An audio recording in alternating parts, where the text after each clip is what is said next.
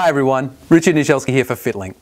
In this video, I'll be demonstrating and explaining how to measure and record skin folds using the ISAK method. Skin folds are an easy and accurate way to assess a client's body composition. Generally, three to eight of the sites are recorded and measured, and these results can then be used to track a client's progress. So, grab your tape measure, grab your pen, and grab your skin fold calipers, and let's get going. Recording and tracking the sum of the skin folds is good practice particularly when working with the same client over an extended period of time. This will help when assessing the progress of the client and provides a visual record for the client to view. For skinfold measurements to be accurate, it's important to follow the guidelines for the particular skinfolds protocol you are using, and where possible, have the same person perform the follow-up skinfold measurements to minimize any variation between assessors. When assessing a client's skinfolds, it is the right side of the body that is usually measured. Locate and mark all the landmarks first, then proceed to take the skin folds. The assessor pinches the skin at the appropriate site to raise a double layer of skin and the underlying adipose tissue, but not the muscle.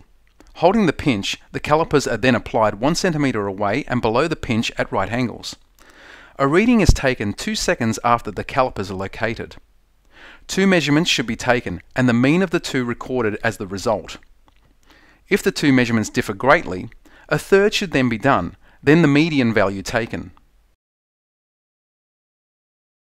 When performing a skin fold assessment with a client, it is best to speak to the client beforehand to explain the assessment procedure, what the client can expect, how the measurements are taken, and what the results can help to assess.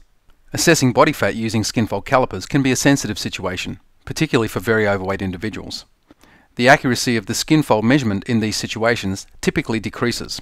It would be more appropriate to use other methods for assessing body fat, such as circumference measurements, scale weight, BMI, and how the client's clothes are fitting since the last assessment.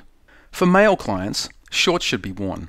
For female clients, shorts and a sports singlet with a regular bra underneath is best.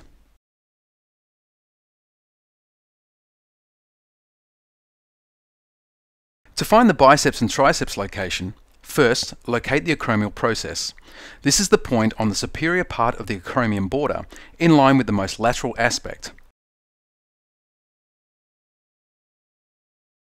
Then locate the radiale. This is the point at the proximal and lateral border of the head of the radius. Measure the linear distance between the acromiale and the radiale, avoiding the curvature of the arm. Place a horizontal mark at the level of the midpoint between these two landmarks. Project this mark around the most posterior and anterior surfaces of the arm as a horizontal line. Mark the midline with a vertical line. The skin folds for both the triceps and the biceps sites are taken along the long axis of the humerus.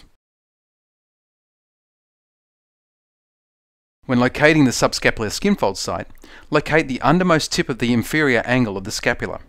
If there is difficulty locating the inferior angle of the scapula, ask the client to slowly reach behind the back with the right arm. Use a tape measure to locate a point 2 cm from the subscapulare in a line 45 degrees laterally downward.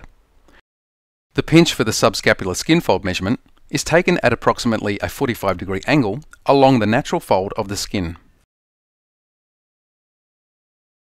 The iliac crest site is located immediately above the most lateral aspect of the iliac crest.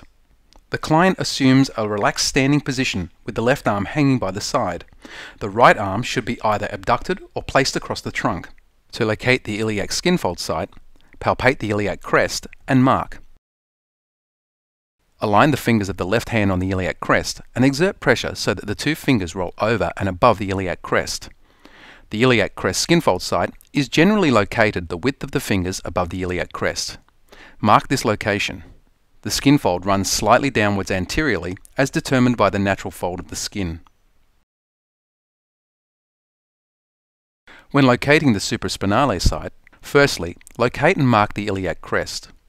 Then locate the most inferior or undermost part of the tip of the anterior superior iliac spine and mark. The skinfold site is located at the intersection of the line from the spinale to the axilla, the anterior area of the armpit, and the horizontal line at the level of the iliac crest.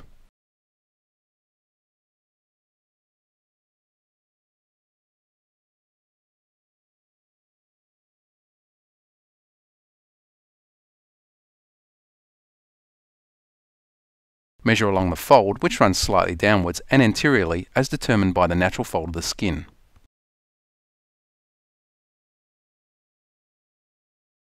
The abdominal skin fold site is located 5 cm to the right hand side of the midpoint of the navel. Mark the point and measure with a vertical fold.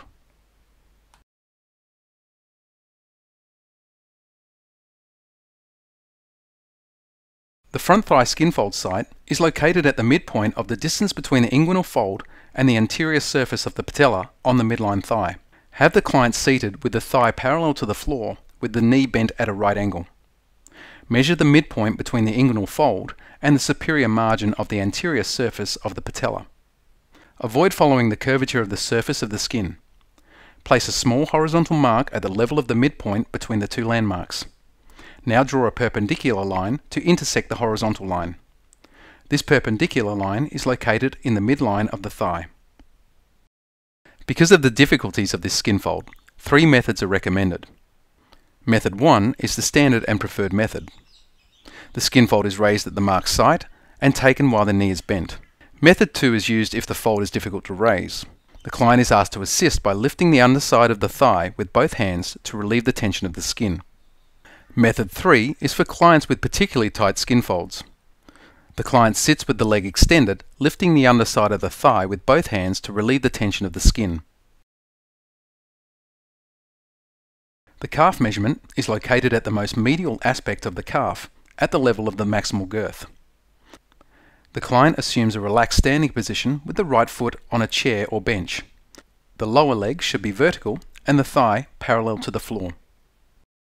The location of the maximal girth is found by using the middle fingers to manipulate the position of the tape in a series of up or down measurements to determine the maximum girth.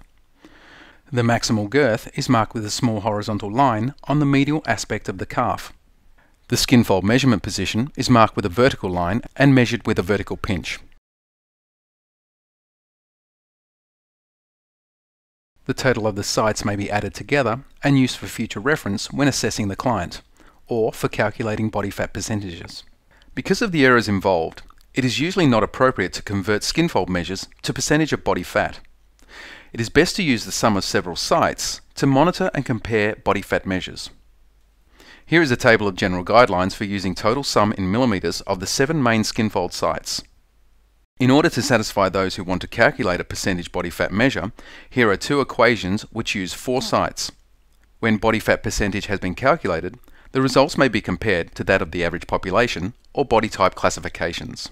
A consensus of opinion for exact percentage body fat value associated with optimal health risk has yet to be defined. However, a range of 10 to 20% and 20 to 32% for men and women respectively is considered satisfactory for health. The client's calculated results may be compared to that of the accepted guidelines for the average population. For the athlete, the general norms may not apply. Different sports have different requirements in terms of body composition. For contact sports such as football or rugby, a higher body weight may be a useful advantage. While sports such as gymnastics, marathon running, and other weight bearing activities rely on a high power to weight ratio, and as such, both low body fat and low body weight are necessary. No accepted percentage body fat standards exist for athletes. The ideal body composition is highly dependent on the particular sport or discipline and should be discussed on an individual basis with the coach, physiologist, and nutritionist or dietitian. Body weight and body composition should be discussed in relation to functional capacity and exercise performance. Hey folks, thanks for watching. Check out our other videos and don't forget to subscribe.